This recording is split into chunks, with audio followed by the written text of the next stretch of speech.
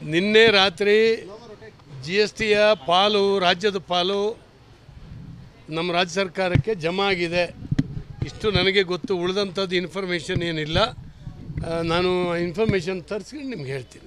ರೋಹಿತ್ ಚಕ್ರತೀರ್ಥ ಅವ್ರನ್ನ ಗಡಿಪಾರ್ ಮಾಡಬೇಕನ್ನುವಂಥದ್ದು ತುಂಬಾ ಕಡೆ ಸರ್ ಯಾರೋ ಹೇಳಿಕೆ ಕೊಡ್ತಾರೆ. ಗಡಿಪಾರ್ ಗಡಿ ಗಡಿ ಪಾರ್ ಮಾಡಬೇಕಾದ್ರೆ ಸುಮಾರಷ್ಟು ನಿಯಮಾವಳಿಗಳಿದ್ದ ಅವ್ರಿಗೆ ಗೊತ್ತಿಲ್ಲ.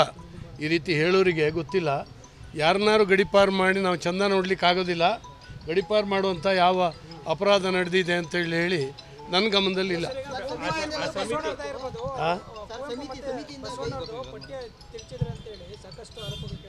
ನೋಡಿ, ಅದಕ್ಕೆ ನಾಗೆ, ನಾಗೇಶ್ ಅವರು ಉತ್ತರ ಕೊಟ್ಟಿದ್ದಾರೆ. ಸ್ವಾಮೀಜಿಯವ್ರನ್ನ ಭೇಟಿ ಮಾಡಿದ್ದಾರೆ. ಇವೆಲ್ಲವೂ ಕೂಡ ನಡೀತಾ ಇದೆ. ಅದರಿಂದ ನಾನು, ಇಲ್ಲ, ನಿಮ್ಮ ನಿಮ್ಮ ಜಿಲ್ಲೆಯವರೇ ನಾಗೇಶ್ ಅವರು. ಇದಕ್ಕೆಲ್ಲವನ್ನು ಕೂಡ ಉತ್ತರ ಕೊಟ್ಟಿದ್ದಾರೆ. ಈಗ ಕುವೆಂಪು ಅವರ ನಾಡಗೀತೆ ಅವಹೇಳನ ಮಾಡಿದ್ದಾರೆ ಅನ್ನುವಂಥದ್ದು. ಎರಡು ಸಾವಿರದ ಹದಿನೇಳರಲ್ಲಿ ನಡೆದಿರುವಂಥ ಘಟನೆ ಆವಾಗಲೇ ಸಿದ್ದರಾಮಯ್ಯ ಸರ್ಕಾರ ಇರುವಾಗಲೇ ಅದಕ್ಕೆ ಬೀರು ರಿಪೋರ್ಟ್ ಹಾಕಿದ್ದಾರೆ. ಅದ್ಯಾಕೆ ಮತ್ತೆ ಈಗ ಎಲ್ಲ ಸರ್ ಈಗ ಈಗ ಎಬ್ಬಿಸ್ತಾ ಇದ್ದಾರೆ ಚರ್ಚೆ ಆಗ್ತಾ ಇದೆ.